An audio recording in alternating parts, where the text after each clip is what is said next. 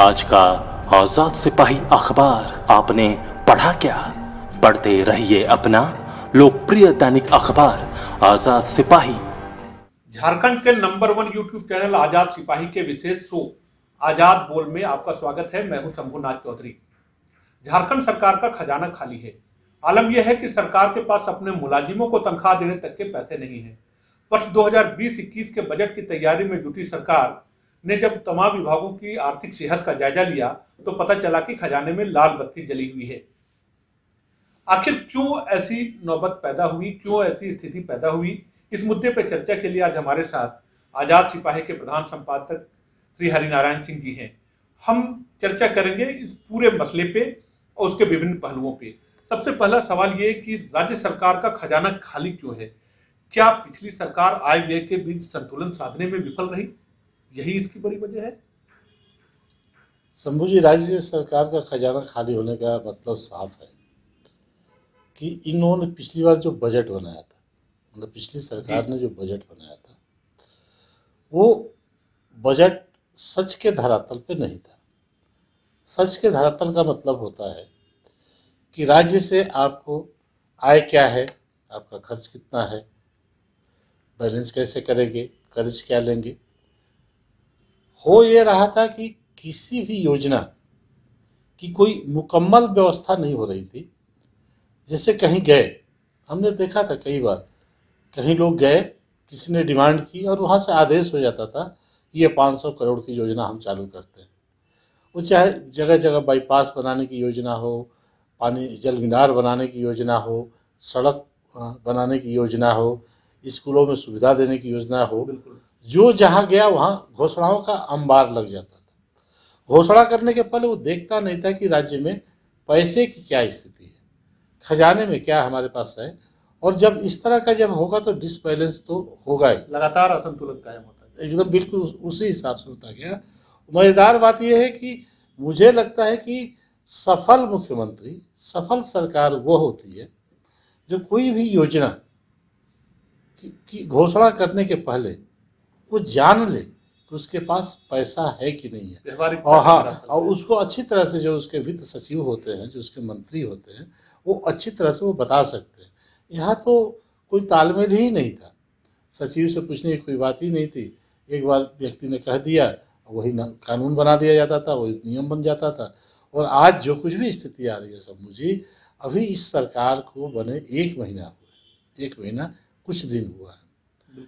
और मान लीजिए ठीक उसी तरह से है कि जैसे मान लीजिए जब कोई बच्चा किसी घर में नया बच्चा आता है और बच्चा आते ही ये चिंता हो जाए कि उसके दूध के पैसे कहाँ से आएँगे?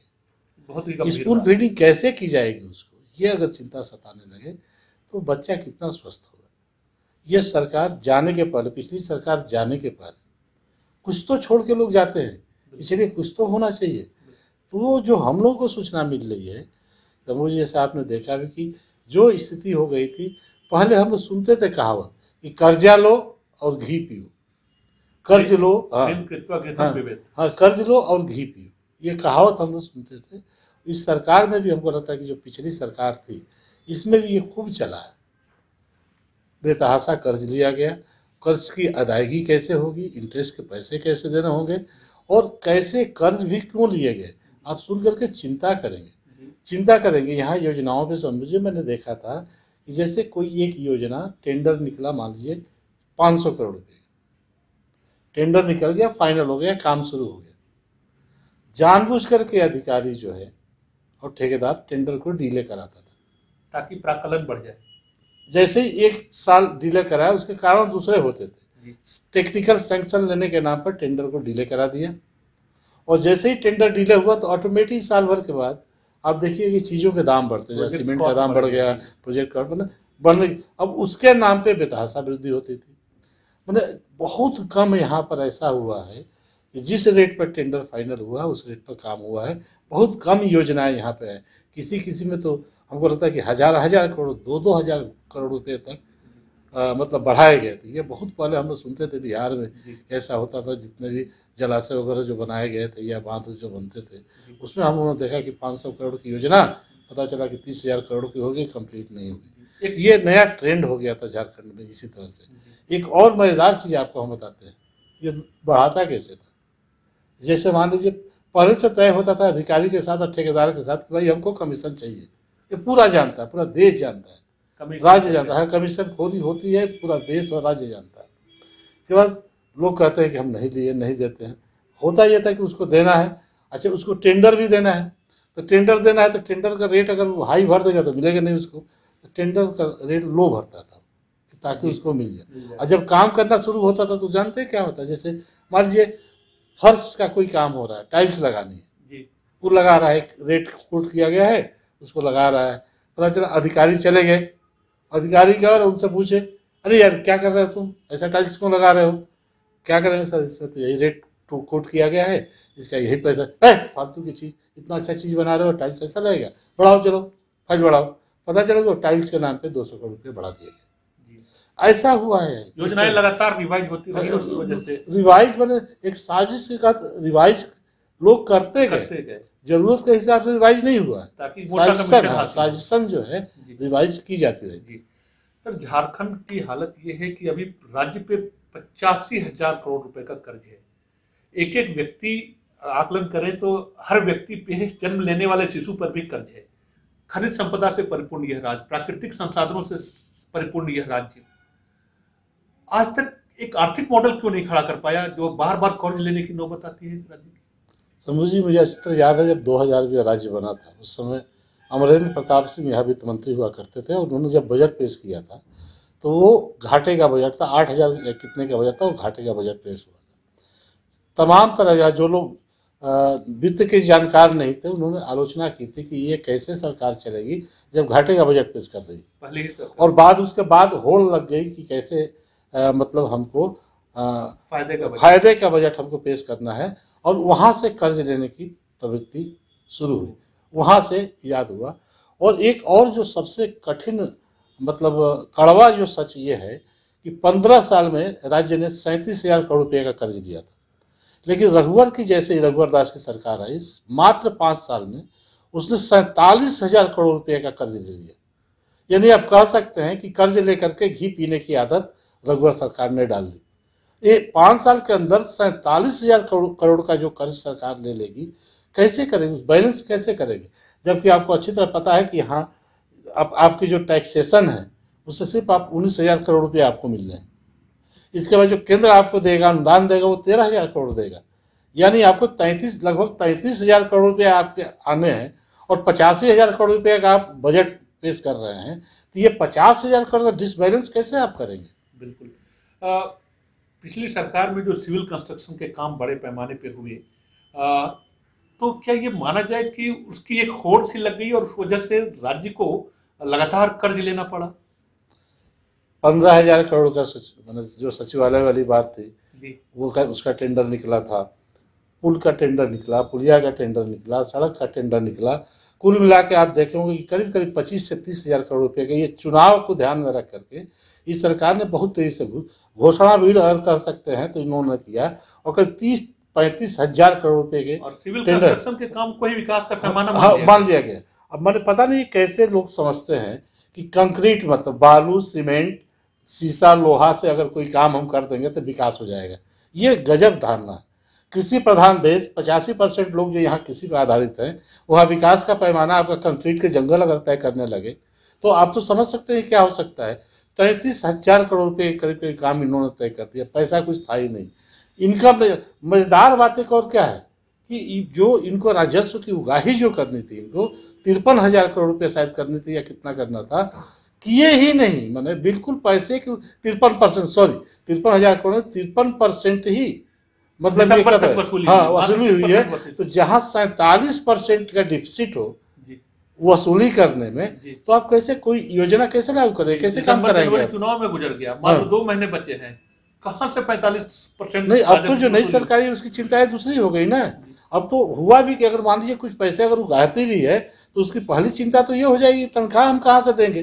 देखिए क्या हो किसी भी राज्य में जब टैक्सेशन से पैसे आने हैं राजस्व विभाग से पैसे आने हैं खान विभाग से पैसे आने हैं दोनों आपके फेल कर गए थे। तो उसमें अब अब जो होता है बाकी चीज़ों में तो आपका जो पैसा होता है वो तो नॉन प्रोडक्टिव काम है। तनख्वाह देना नॉन प्रोडक्टिव है। बिल्कुल। इस तरह की जितनी भी चीज़ें हैं नॉन प्रोडक्टिव तो नॉन प्रोडक्टिव खर्च अगर आपका बढ़ गया अब प्रोडक्टिव खर्च अगर घट गया आपका तो कर्ज तो आपको उसी पर जाएगा ही जाएगा। मैंने वही होता है कि कर्जा लेते जाइए खाते जाइए मौज करिए उड़ाइए चल जाइए। इनकम के रास्ते नहीं बढ़ाएँगे आप। और चुनाव होने के कारण टैक्सेशन हुआ भी नहीं। जीएसटी हो जाने के कारण मतलब अब धीरे धीरे उसकी किस्त आएगी। इनकी तो अभी तो शुरुआत हुई है समझो जी ये बीस में। बाईस में तो वो भी पैसा नहीं मिलेगा केंद्र से इनको जीएसटी वाला। करेंगे क्या? है उन्नीस जाएगा। दो हज़ार बाईस से नहीं मिलेगा वो।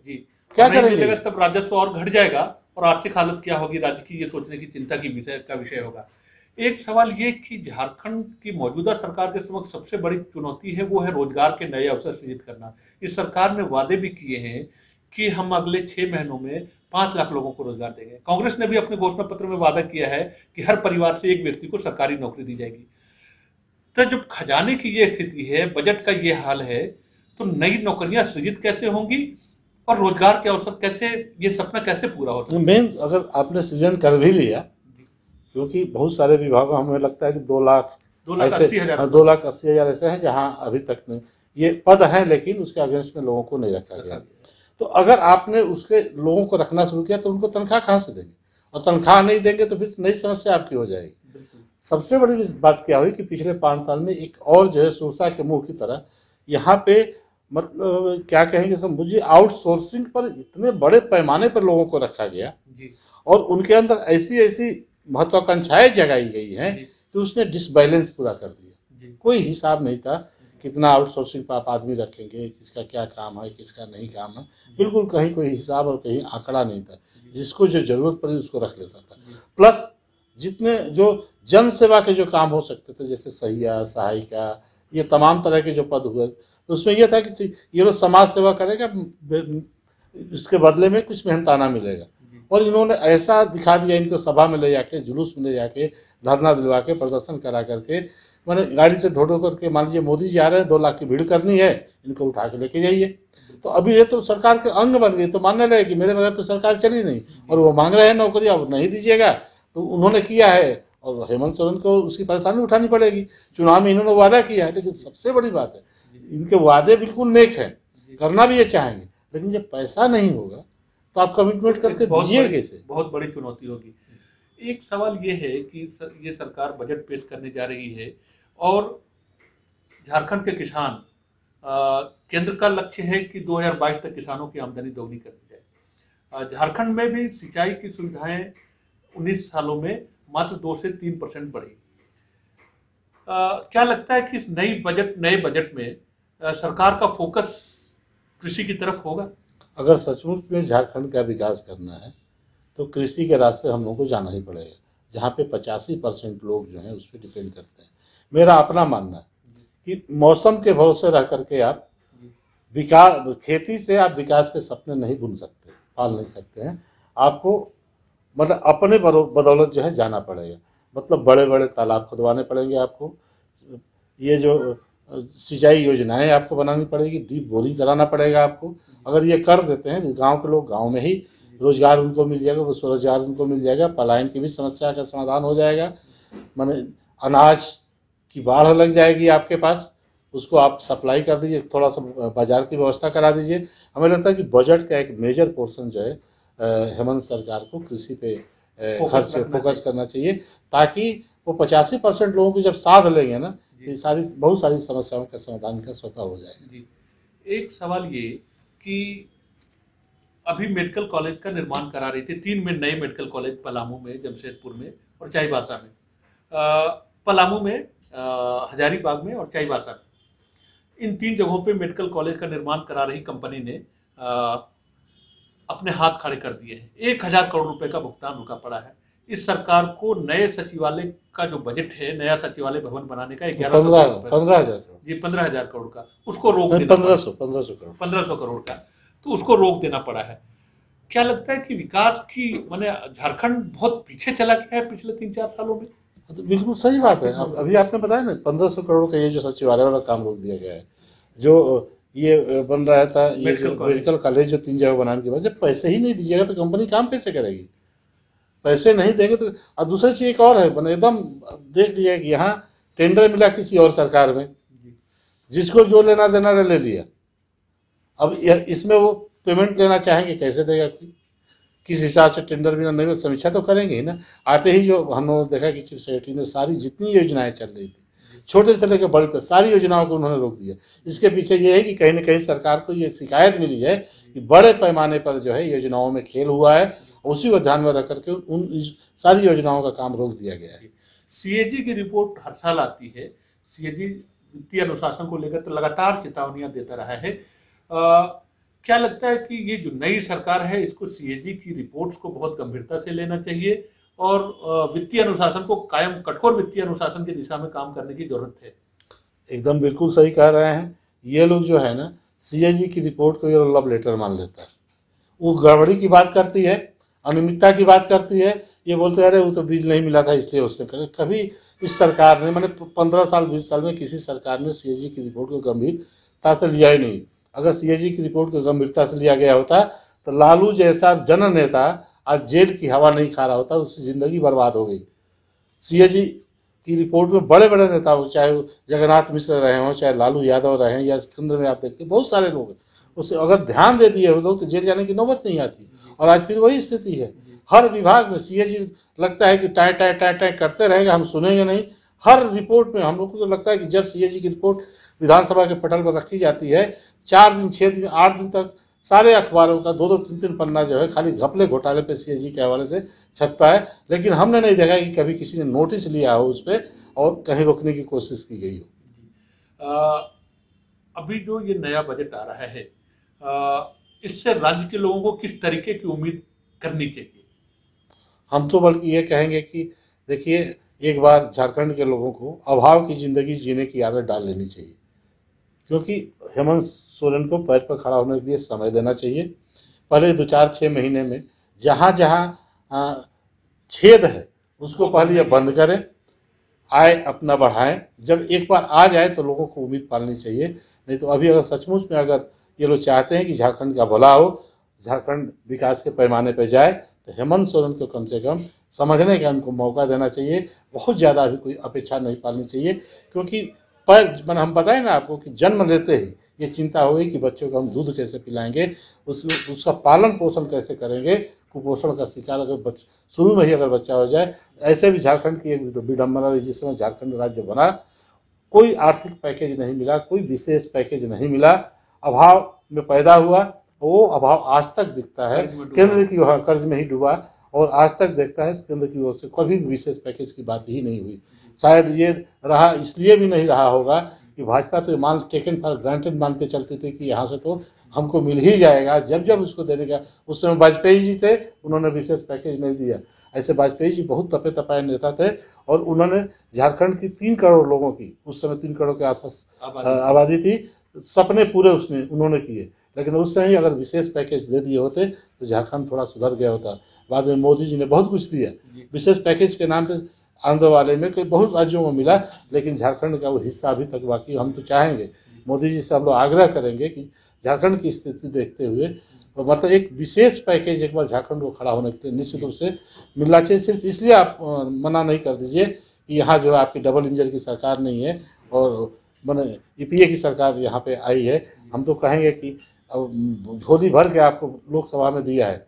यहाँ के लोगों ने दिया। बारह सीटें आपने मांगी बारह सीटें मिली है। अब झारखंड के लोगों की झोली भरिए आप विशेष पैकेज दीजिए। जी झारखंड एक ऐसा प्रदेश है जो देश की सत्तर प्रतिशत खनिज की जरूरतें पूरी करता है। खनिज की रॉयल्टी बढ़ाने की मांग होती रही है। अ, क्या लगता है कि इस दिशा इसमें सरकार को केंद्र सरकार को गंभीरता से विचार करना चाहिए तभी झारखंड की सेहत सुधरेगी? ये विडम्बना है। कि हम दूसरे राज्य को रोशन करते हैं, देश को रोशन करते हैं, हम अंधेरे में हैं। यहाँ से खनिज संपदा जो धरती की कोख यहाँ से खाली होती है खनिज खनिज संपदा यहाँ से केंद्र को चली जाती है, हमें कुछ नहीं मिलता है। जो रॉयल्टी मिलती है, वो क्या मिलती है? समझिए रॉयल्टी की जो दर मिलती है थोड़ी सी स्थिति तो अभी सुधरी है, वरना एक बार तो लोग बता रहे थे कि जो खनिज संपदा की जो हम सुरक्षा करते हैं, जो गार्ड से वहाँ पहरा लगाते हैं, उसके पैसे उससे नहीं निकलते हैं रॉयल्टी से। तो रॉयल्टी बढ़ाना चाहिए और एक मेजर मतलब हिस्सेदार बनाना चाहिए। तो हिस्सेदारी की बात हो रही है मालिकाने की बात हो रही है। हम तो बल्कि ये कहेंगे कि ये समय है कि जब केंद्र भी उदारता के साथ मतलब विचार करे ये जो खनिज संपदा जिन राज्यों में भी खनिज संपदा है या जो भी है उस उसका थोड़ा मालिक तो राज्य भी बने सब केंद्र बन जाएगा तो राज्य का क्या होगा? अब तो लोग कह रहे हैं ना कि कल कारखाने में अगर ज़मीन दे रहा है तो रैयत को आप जो उसका मालिकाना हक दीजिए। हम तो कहेंगे कि थोड़ा ही सही शुरुआत तो होनी चाहिए कि जो खनिज संपदा है उसमें झारखंड को भी सिर्फ़ रॉयल्टी भरोसे नहीं छोड़ा जाए कुछ मालिकाना हक दिया जाए। कुल मिलाकर इस चर्चा में ये बात सामने आई कि झारखंड में खजाने की स्थिति बेहद बुरी है और नई सरकार के सामने चुनौती है कि वो कैसे इस विषम परिस्थिति का सामना करे और राज्य को विकास के पथ पर आगे लेकर जाए। आप सभी का बहुत बहुत धन्यवाद। आज़ाद सिपाही ने अपना नया ऐप लॉन्च किया है। आप उसे प्ले स्टोर पर जाकर आज़ाद सिपाही टाइप कर उसे इंस्टॉल कर सकते हैं।